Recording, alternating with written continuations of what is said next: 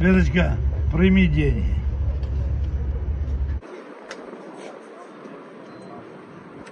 Нужно поблагодарить военно-гражданскую администрацию России за то, что они справно поставляют нам топливо. Топливо хорошего качества. Поставки идут регулярные. Торгуем и рублями, и гривнами. Так что у нас все есть. И газ тоже.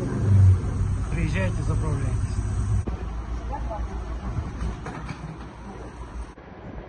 Альберта здесь.